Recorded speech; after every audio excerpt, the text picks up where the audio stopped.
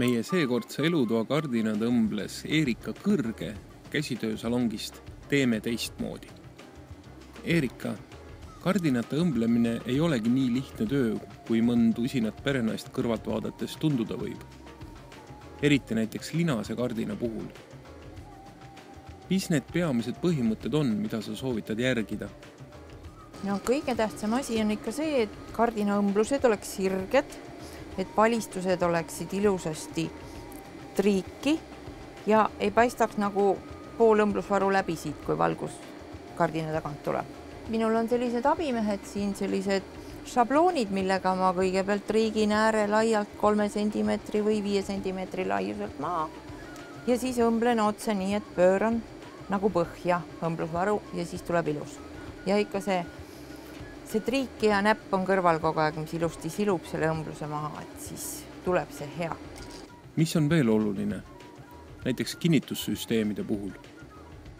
põhiline on hästi triikida ja väga oluline on kangas mitu korda läbi triikida, kuna linane kangas läheb kokku ja kes jõuab seda linast kangast ennem läbi pesta kõike. selleks tuleks ta läbi aurutada ja aurutame niimoodi, et aurutame ta läbi ja jätame ta seisma. Hea, kui ta saab hingata, õhu käes olla, no täitsa üks päev triigin, järgmine päev hakkan tegema. Ja just aurutan, mitte triigin. Et linane kangas tihtipeale inimesed on hädas, kardin on lühike peale esimest pesu. Ja kui ta on selline ilus Skandinaavia valge, paneme pessu ja siis on ta kukekas meil, mis me siis teeme, hakkame uuesti disainima, paneme pitse ja satse otsa, ka see on võimalus. Nad teistmoodi teha, ilusamaks veel, aga piirdume ikka sellega, et ta on meil nagu algse olemuse juures. kardinapaelte valik on hästi suur meil, et osata õigele materjalile õiget kangaid paelu valida.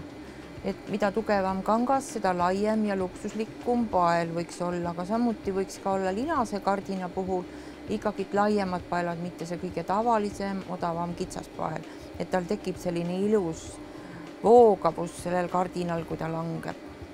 Et see on oluline ja üks kindlasti väga tähtis asi on, et kardinapaelad triigitakse ja aurutatakse samuti enne läbi, sest muidu need tõmbavad kokku ja siis paelaosast kõik roogib see siis, kui ei ole vaja. et see on väga tähtis asi.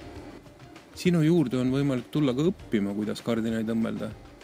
aga kas sa saad abiks olla ka poes kanga valikul? ma pakun seda võimalust alati inimestele, sellepärast et inimesed ei oska nagu tihtipeale osa, ostetakse kas seda kangast väga palju või väga vähe.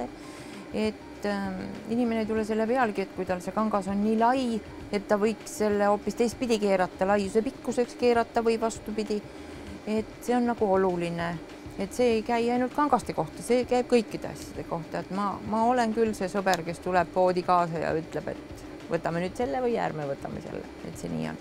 selle konkreetse elutoa kardinad valisid just Abakanist, miks?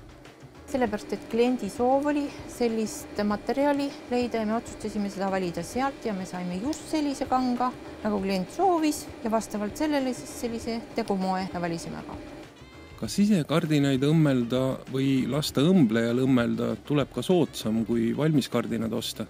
on kaks võimalust, kas inimene tuleb meile uksest sisse, tahab, et mina õmblen talle kardinad või tahab ta ise õmmelda meie nõuannetega läbi endale kardinad, et kahtlemata, kui ta seda ise teeb, on see väga suur rahaline võit talle, sest ta saab selle oskuse neid kardinaid õmmelda eluks ajaks kaasa. minu poolt tehtud kardinad ta saab üheks hetkeks, üheks hooajaks või kuidas keegi. peale kardinate teete siin salongis veel igasugu põnevaid sisustusalaseid asju kahtlemata sinna koju kuulub ju palju tekstiili, mida saab maju, mahutada igale poole. näiteks meil on väga populaarne taaskasutus, et kuidas saab ära kasutada kampsuneid, vanu teksaseid, näiteks seal on meil väga uhke tool, mis on tehtud ühest vanast kampsunist isegi rinnatasku on jäädvustatud ilusti samasse kohta, kus ta oli. et samamoodi on väga uhkeid põllesid saab teha teksapükstest. Ja samas see isetegemise rõõm, et kindlasti julgustan inimesi tulema meile ja õppima tegema oma vanadest teksadest endale lahedaid põllesid, tuleb osata põllesid uuesti kandma hakata, meie vanaemad tegid seda, meie emad tegid seda, et see on väga tore see on tõesti lahe idee, kui õdusaks annab kontoritoolid teha. Hästi õdusaks annab kontoritoolid teha, seal on ka näha üks väga uhke kontoritool. Ja kõik klipid-lapid saab ära kasutada, saab ühe vana püksipaari tasku riputada sinna serva külge, kuhu saab oma mobiili panna või telekapuldi, et väga oskuslikult saab ära kasutada kõik kangajäägid